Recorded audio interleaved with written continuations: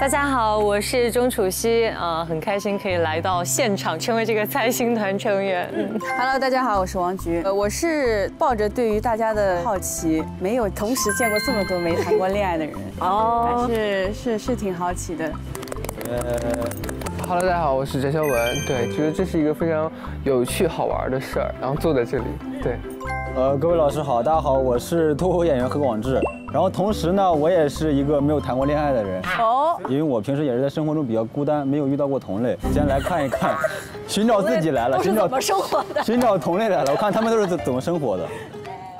大家好，我是沈一斐。我自己的研究方向呢是关于家庭社会学、情感社会学，所以一直在大学里教书。今天来做这个猜心，可能更多的不是猜，我可能是分析，然后去理他们背后的逻辑。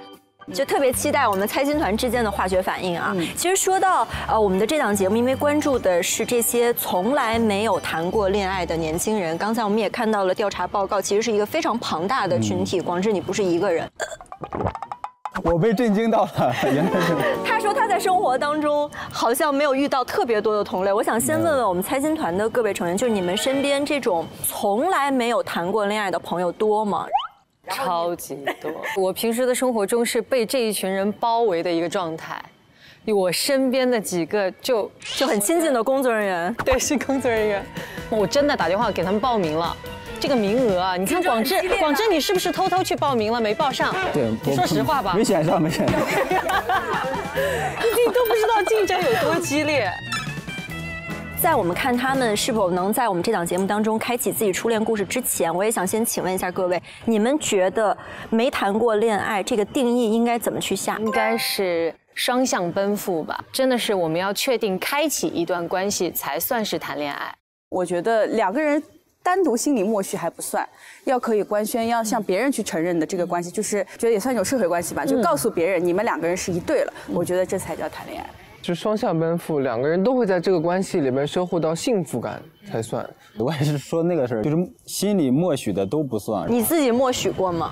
我暗恋过，但是暗恋过了，暗恋过很多。因为如果暗恋也算的话，我倒是谈过好多，暗恋过很多。哎，其实我觉得你们各位都讲的特别好，基本上把这个要素都讲出来了。第一个，首先得双向奔赴嘛，一方肯定不算。第二个，至少要有个承诺机制，官宣其实就是个承诺机制。嗯，其实大家对于什么叫开始恋爱，其实还是有比较共性的认识的。嗯啊，所以我们也特别期待来看一看我们呃这一群从来没有谈过恋爱的年轻人，是不是能够在这儿开启他们的恋爱故事。好期待呀、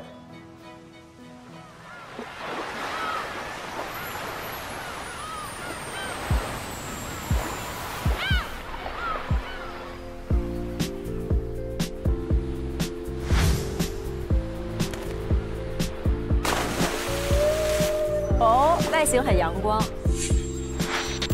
我很帅，好帅好帅。对啊，很帅。我叫毛人龙，今年二十二岁，现在是在读的一个大三学生，然后我的专业是法学。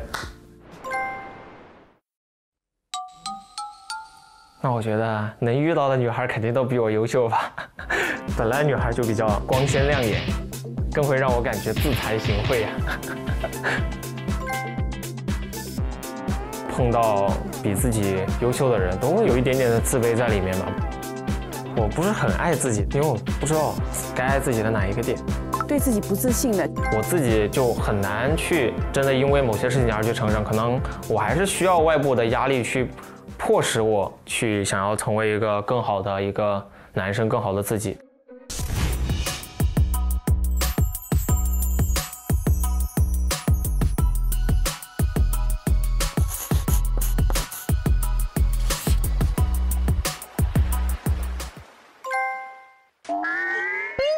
对着镜头做一个简单的自我介绍。我叫杨硕成，我的名字叫杨硕成，我叫杨硕成，二十五岁，呃，我是一名，不对，我是一名西哎，我叫杨硕成，今年二十五岁，来自西交利物浦大学。我就比较喜欢那种很自然、很傻乎乎的，就那种，也不是傻乎乎的，就是那种，那种，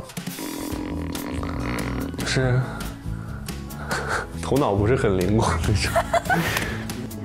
那日子还能过吗？不是，那他找了谁？那个女生看到这一段得多么的不高兴啊！就证明你觉得我不灵光。因为我就不灵活，我找个太灵活的，显得我跟个白痴一样。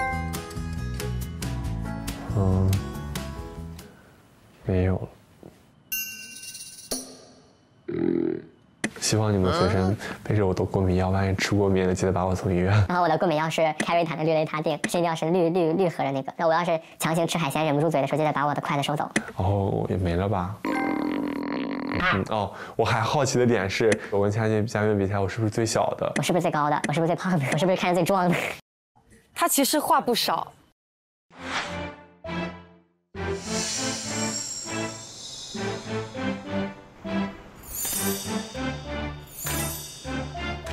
我叫罗志阳，大学学的是服装表演专业。曾经因为我的梦想呢，做过一段时间的模特。